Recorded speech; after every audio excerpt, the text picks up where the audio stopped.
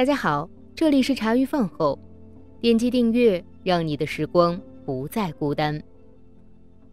在我们的生活中，很多爱要面子的人，平日里不但事事争先，还会大张旗鼓地进行炫耀，生怕别人不知道他有多优秀。就算是在处理身后事这方面，这类人都要办得比别人隆重。不过，也有许多极其低调的人，他们平时都不显山不露水。哪怕在去世之后，也不想引起别人的重视，只想低调办理告别式，让自己静静的走。而资深艺人陈丽丽显然属于后者。陈丽丽出生于1951年，于1968年加入火牛义工总队，随后展开演艺生涯，并在当年得到文艺金像奖竞赛最佳女主角奖项。她早期生活清苦。外地小孩没有太多出路，会读书的就去念师范学校考公务员，不会读书的几乎只有三种可能：念军校、混黑道、唱歌演戏。而陈丽丽走的显然是第三条路。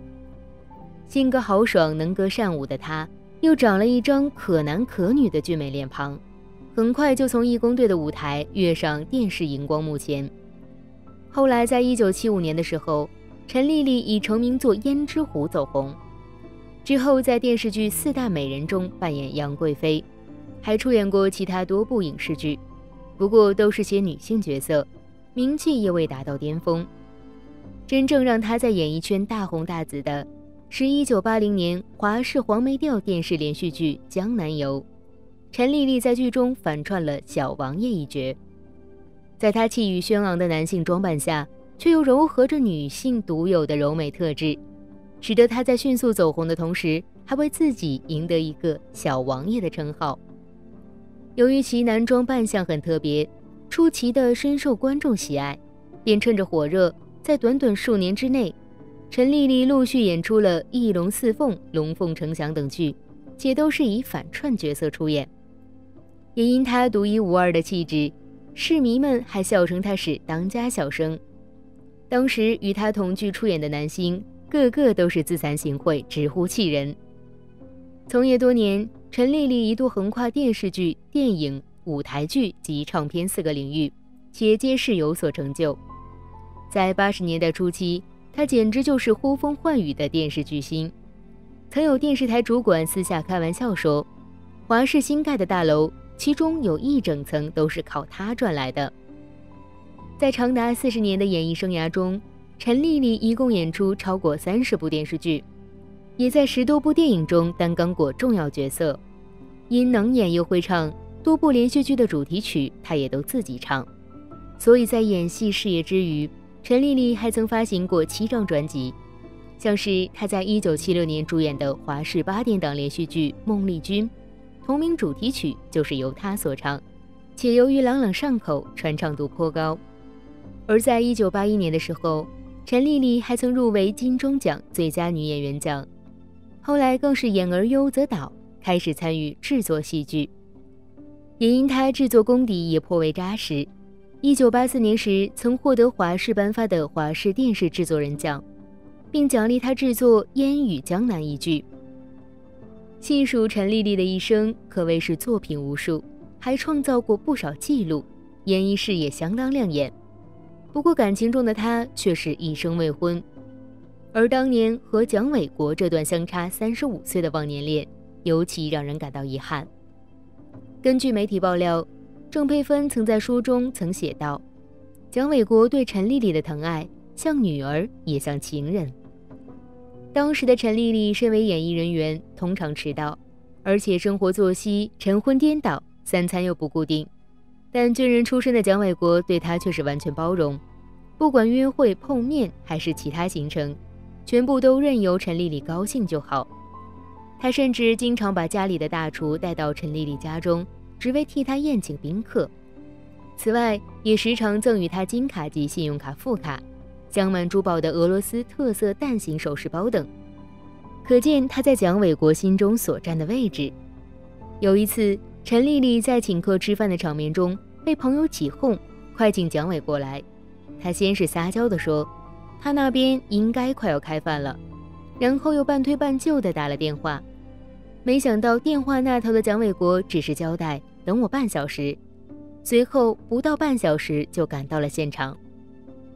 而除了蒋伟国细心呵护陈丽丽，陈丽丽也时常关心蒋伟国的日常起居。但因为两人并不能经常在一起，也仅限于口头问候和关心。可事实上，尽管陈丽丽在戏中扮演的小王爷总是冰雪聪明，能够在复杂的案情中抽丝剥茧找到真凶，又能周旋在多位红粉知己之间，俨然是智商与情商双高的代表，但是在现实生活里，她却天真的犹如少女。陈丽丽真心相信。有一天，蒋纬国会为他与妻子邱爱伦离婚，而他将会成为第三位蒋纬国夫人。但这美梦却被好友凌波给点醒。当时，凌波见他想搭机前往高雄探视在屏东举行汉光演习的蒋纬国，于是告诉他，像蒋家这样的门第，尽管他再宠爱你，也是万万不可能迎娶像你这样一个艺人进门的。此外，当时虽然两个人的恋情朋友们都清楚，但其实一直有网友怀疑他和蒋纬国之间到底是恋情还是友情。直到后来，妹妹陈丽华出面证实，姐姐陈丽丽与蒋纬国曾经确实是往年的红粉知己，也说当时蒋纬国对姐姐非常好，大家这才知道内幕详情。只是这段难得的感情，终究只是陈丽丽的一厢情愿。最后落得无疾而终的结局。不过，鲜有人知的是，其实，在与蒋纬国相识之前，陈丽丽就有过一段短暂婚姻。她曾与香港电影工作者陈浩结为夫妻，而且当时刚好潘迎紫嫁给陈浩的哥哥陈鸿烈，让他和潘迎紫一度结为妯娌。巧合的是，这两对圈内夫妻最后都走上离婚一途。离婚后的陈浩弃影从商，并远居海外，陈丽丽则以演出《江南游》的小王爷红遍半边天。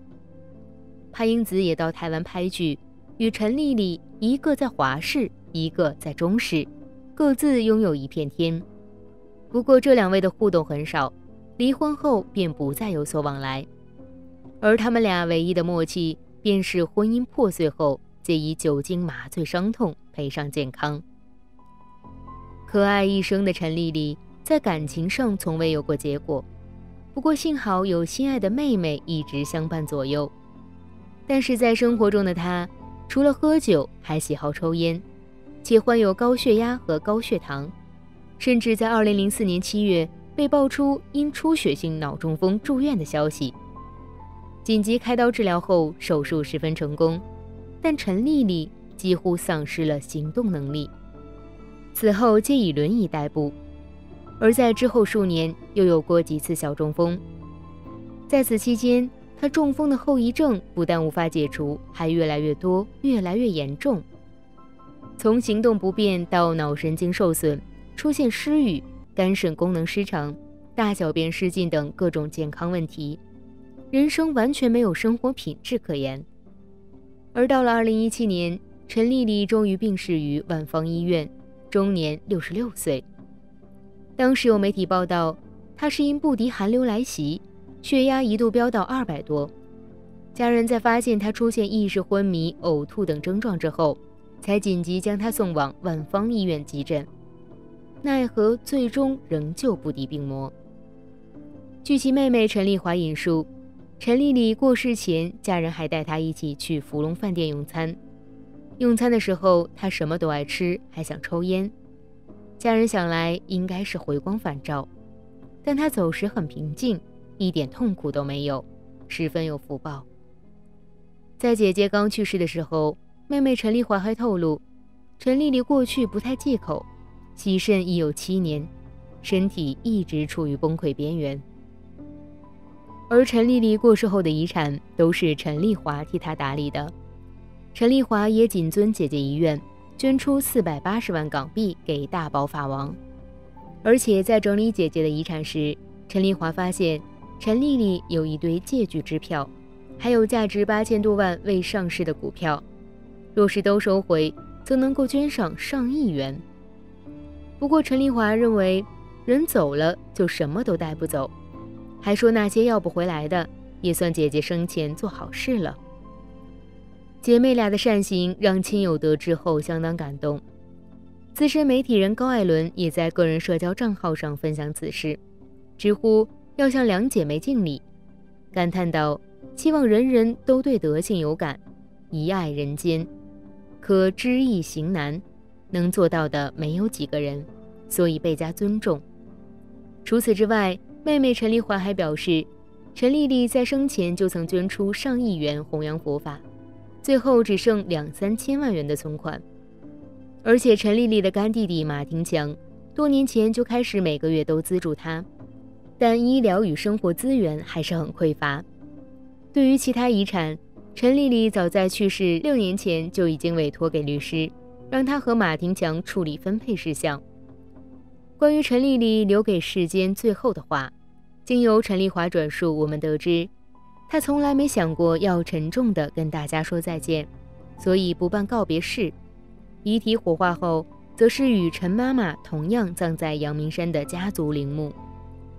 或许大家都很难想象，一个曾经红极一时的大明星，临走之际竟然会如此低调。不过联想到他生前的捐赠行为，也足以理解他心中的大爱与无私。而这样一位胸怀善意的善人。也一定会被大家永远记在心里。今天的分享就到这里了，别忘了动动手指，点击订阅、点赞、分享哦！我们下期更精彩，拜拜。